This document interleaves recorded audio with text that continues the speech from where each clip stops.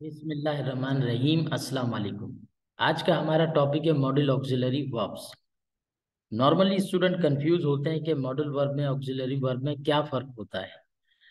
तो आइए एग्जांपल से, डेफिनेशन से समझते हैं कि what is the difference between modal verbs and auxiliary verbs.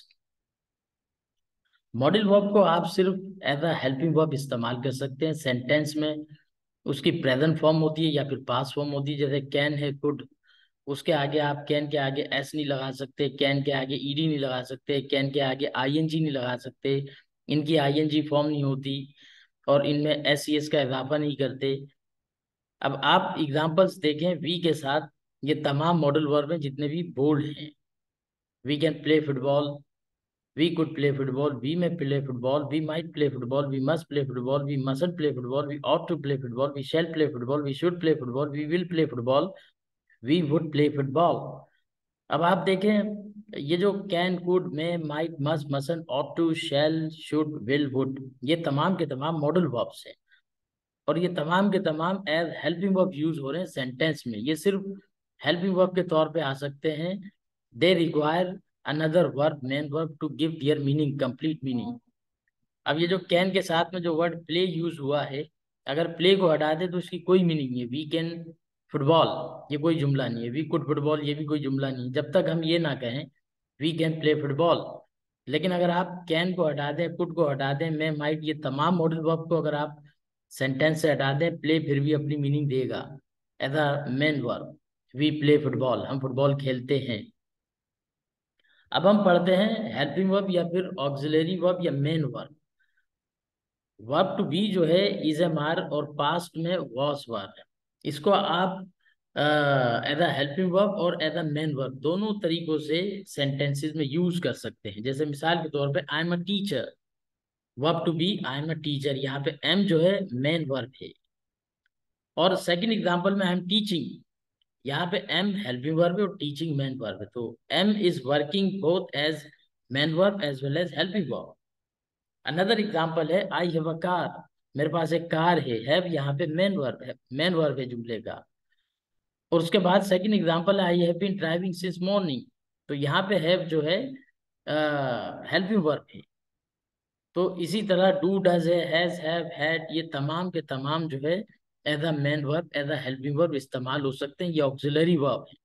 और मॉडल वर्ब को आप सिर्फ़ एज अ हेल्पिंग वर्ब के तौर पे इस्तेमाल कर सकते हैं। Without main verb they do not give their complete meaning और इनके बाद हमेशा वर्ब की फ़र्स्ट फॉर्म आती है, चाहे वो पास्ट में हो मॉडल वर्ब या प्रेजेंट में।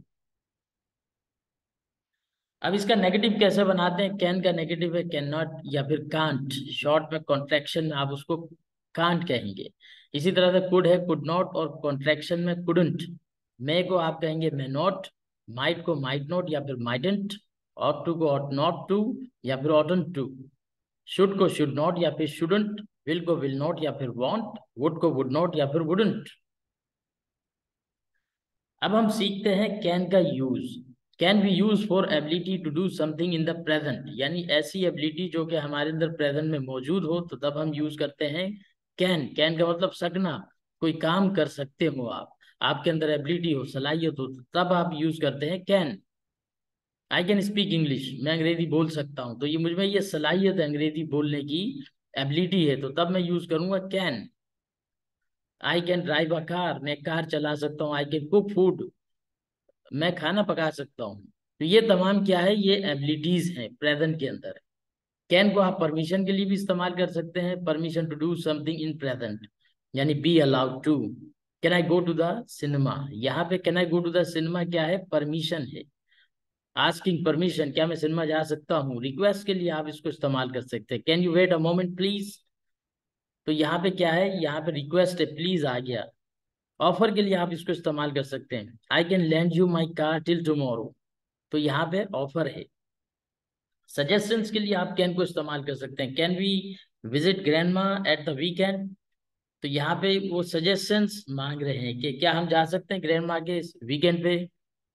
पॉसिबिलिटी के लिए आप कैन को इस्तेमाल करते हैं। It can get very hot in Arizona तो यानी हो सकता है कि एरिजोना में गर्मी हो जाए, ज़्यादा गर्मी हो जाए। ये पॉसिबिलिटी है। अब इसी तरह से कुड को भी आप एबिलिटी में इस्तेमाल कर सकते हैं, यानी पास्ट की एबिलिटी के लिए। I could walk when I was two जब मैं दो साल का था तो मैं वॉक कर सकता था। ये मेरे अंदर एबिलिटी थी दो साल के अंदर वॉक करने की। परमिशन के लिए कैन की तरह इसको परमिशन के लिए भी इस्तेमाल करते हैं पास्ट में, क्योंकि कैन का मादी ये could I could go to the movies when I was a teenager इसी तरह पोलाइट क्वेश्चन के लिए आप इसको इस्तेमाल करते हैं, जब आप इसमें प्लीज़ लगा देंगे पोलाइट क्वेश्चन या फिर पोलाइट रिक्वेस्ट के लिए। Could I go to the cinema please यहाँ पे पोलाइट क्वेश्चन है।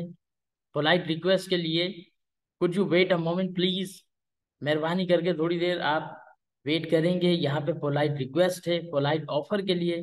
I could lend you my car till tomorrow तो यहाँ पे क्या है? पोलाइट ऑफ़र है। पोलाइट सजेशन के लिए आप कुड को इस्तेमाल कर सकते हैं could be visit grandma at the weekend और इसी तरह से पॉसिबिलिटी के लिए it could get very hot in Montana तो यहाँ पे क्या है? यहाँ पॉसिबिलिटी है. अब इसी तरह से मे का इस्तेमाल है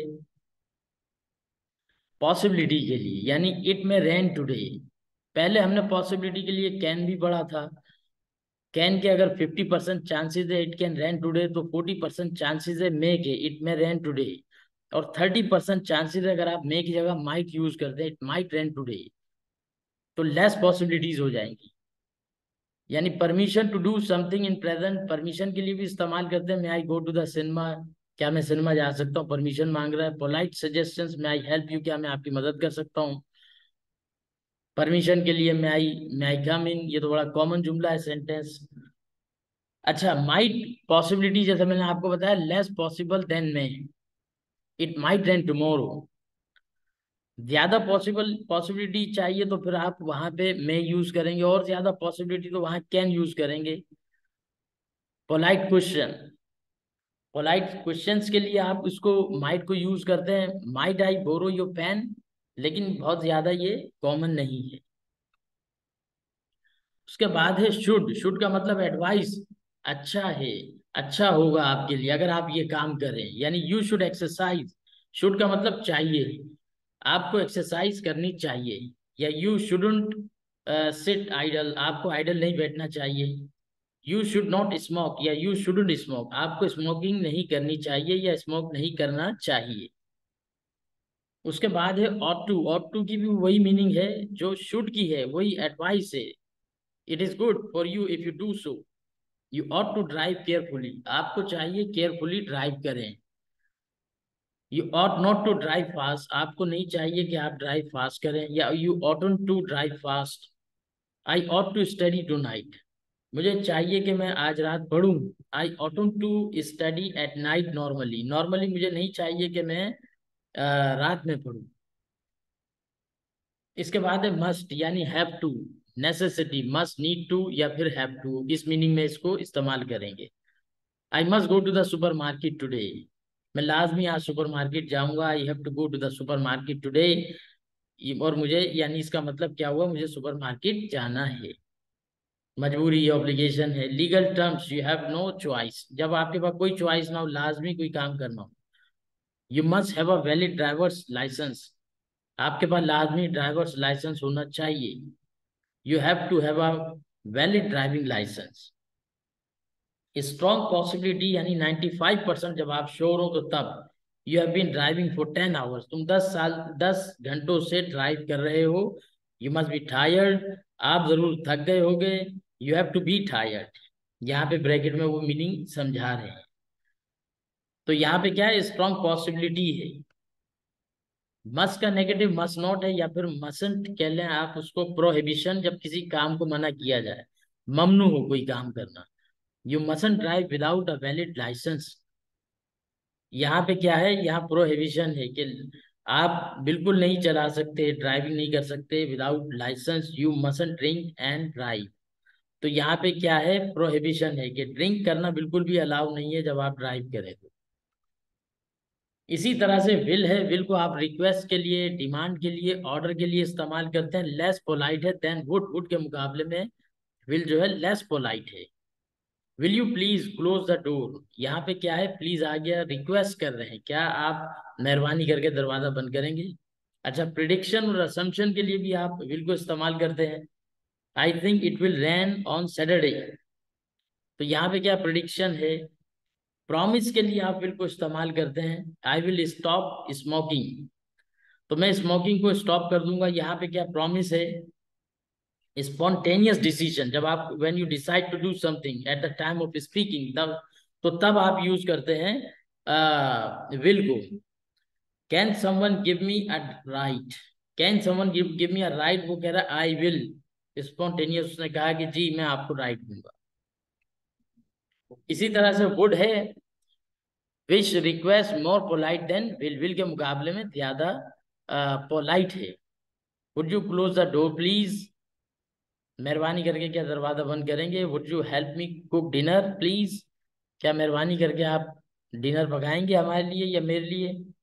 वुड लाइक टू का भी इस्तेमाल करते हैं इसमें। Would you like to introduce yourself क्या आप अपना इंट्रोडक्शन कराना पसंद करेंगे? What would you like to be आप क्या बनना पसंद करेंगे? यानी what do you want to be what is your aim in life it means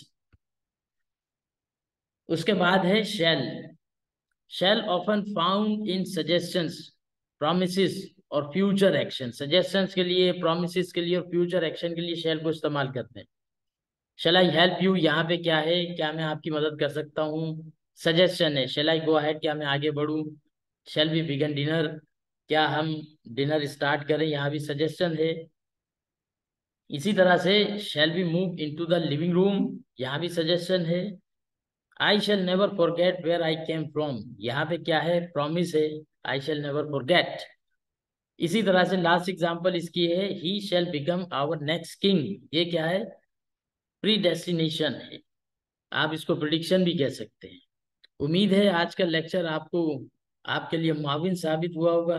thank you